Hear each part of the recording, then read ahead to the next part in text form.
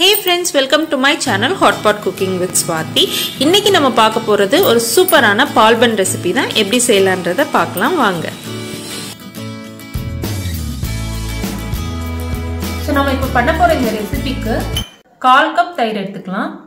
So இது கூட ஒரு கால் டீஸ்பூன் போல் சோடா உப்பு போட்டுக்கோங்க. இப்போ இதை நம்ம நல்லா மிக்ஸ் பண்ணிக்கலாம். ஸோ இதில் ஒரு மூணு டீஸ்பூன் போல் சர்க்கரை ஆட் பண்ணிக்கோங்க. இப்போ இந்த சர்க்கரையை நல்லா மிக்ஸ் பண்ணிக்கோங்க. கரையணுன்ற அவசியம் கிடையாது. எப்படியும் நம்ம மாவு போட்டு ஊற வைக்கும் போது அந்த சர்க்கரை கரைஞ்சிடும் ரேஷியோ வந்து ரொம்ப ஈஸி தாங்க. ஒரு கப் மைதாக்கு நம்ம இதெல்லாம் எடுக்கிறோம். ஸோ நம்ம இப்போ இந்த மைதாவை நல்லா மிக்ஸ் பண்ணிக்கலாம். இப்போ கொஞ்சமாக நெய் ஆட் பண்ணிக்கோங்க. நீங்கள் நெய்க்கு பதில் டால்டா கூட ஆட் பண்ணிக்கலாம். டால்டாவும் இல்லைன்னா நீங்கள் எண்ணெய் கூட ஆட் பண்ணிக்கலாம். இது ஒரு ரெண்டு டீஸ்பூன் போல் ஊற்றினா போதும்.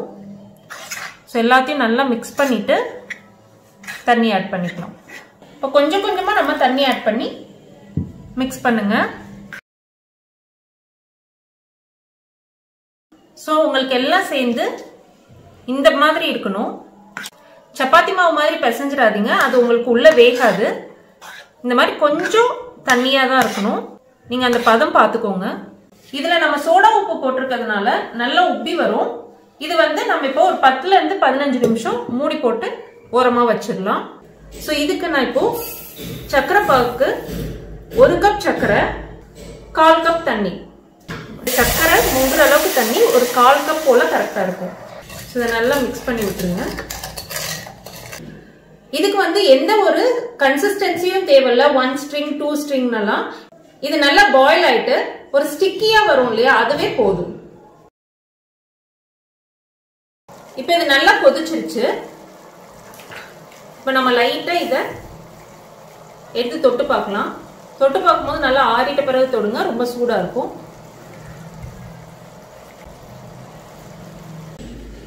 இப்போ இது நல்லா ஊறி ஒரு பிப்டீன் மினிட்ஸ்க்கு மேலேயே ஆயிடுச்சு. ஸோ இப்போ நம்ம எண்ணெயை சூடு பண்ணியிருக்கோம். எண்ணெய் ரொம்ப மிதமான சூட்டில் இருக்கணும்.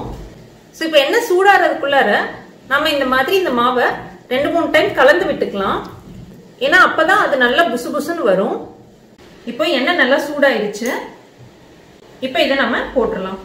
இதுக்கு பர்ஃபெக்டான ஷேப் எல்லாம் எதுவும் தேவையில்லை.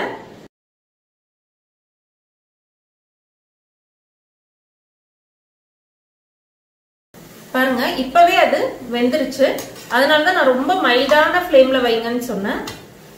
இது டக்குன்னு ரெடி ஆயிடும்.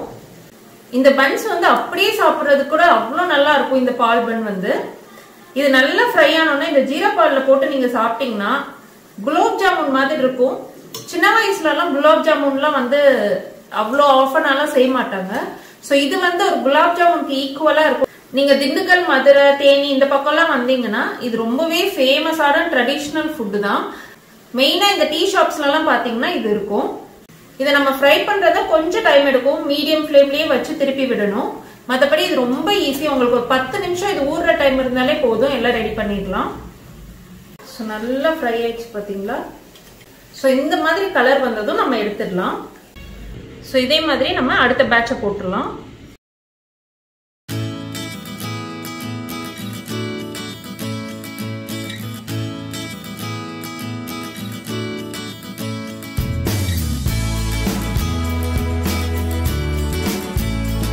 சூப்பரா பால்ஸ் ரெடி ஆயிடுச்சு.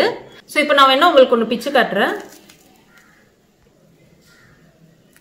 உள்ள பாருங்க. எவ்வளோ அழகா வந்து அப்படி லேயர் லேயரா பிரிஞ்சிருக்குன்னு.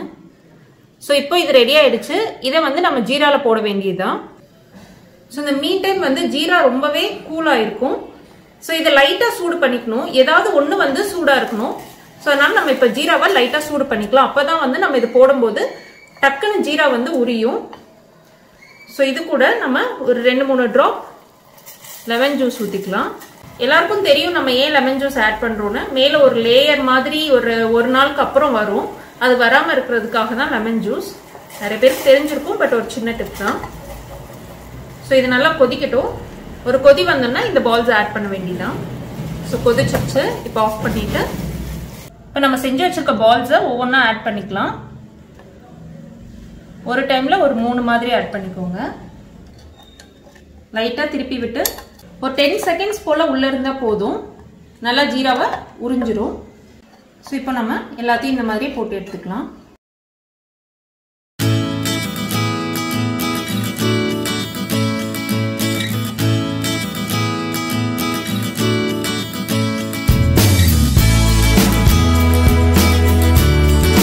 ஸோ அவ்வளோதாங்க நமக்கு ரொம்பவே ஈஸியாக ஒரு மலைக்கு ஒரு சூப்பரான வெதருக்கு இந்த சூடான பால்பன் ரெடி ஆயிடுச்சு. அப்படியே வெளியே நல்லா மழை பெஞ்சு சுற்றி மிஸ்டாக இருக்குது நீங்கள் பாருங்கள்